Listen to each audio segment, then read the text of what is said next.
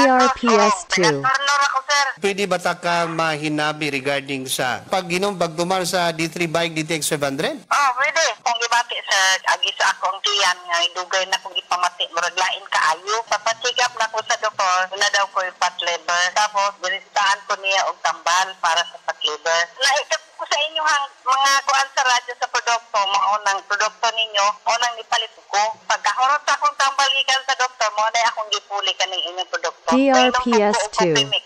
Ah, may gainom bugag DTX Coffee Mix. Ah, ah. Regarding sa mga fatty liver, kumusta? Okay na gid siya. Wala na ko gibati karon. Pero bisag wala na ko gibati pero nag-maintenance lang ko. So lagi ko nga mo inom pirmi. Mao nga ganahan kay ko inom kay ganahan po ko mo kaon dahil po ko matulog. Ma walay lain dirang gatumbar dira og D3 bike DTX 700 sa membro sa pamilya. Ikaw ra? Akong parit po, mao po akong laban sa iya ah. Murag nadlok na ba ako atong gikan sa hospital. Basi po ni atong tungura ag sa bulan sa kuan TRPS2. kay ikalit lang magsakit ang iyang kilid, iyang tiyan dayon mao to nga ipa check up na mo siya. Pagpa check up na mo diri kuan ang yan doktor nag-ingon nga dapat ko no operahan siya kay naa daw siya bato sa akdo Oo, then? dayon auto nga di pa admit na mo siya nya pag pa-admit adto na target na dayon tong nga kuan kanang na ang iyang opera pero na mo sa akong bana pero naluya man ako siya dito sa hospital auto nga amo na hayon na lang sa doktor sa dili pa ang target niya nga Pressure. amo na lang siya TRPS2. ipagawa. Pag inom sa D3 bio sa imong bana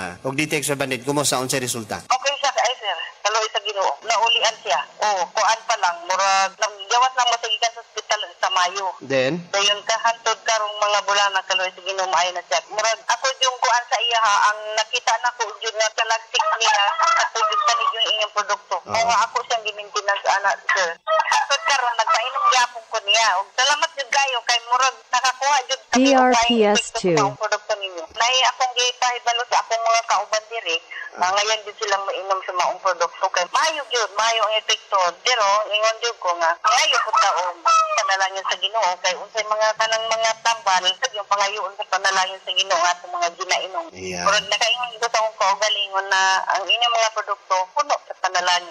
Yeah. Nang makakuha jud ning maing epekto. Ma'am, ang sa gani ngalan nimo, ma'am? Milagros Orong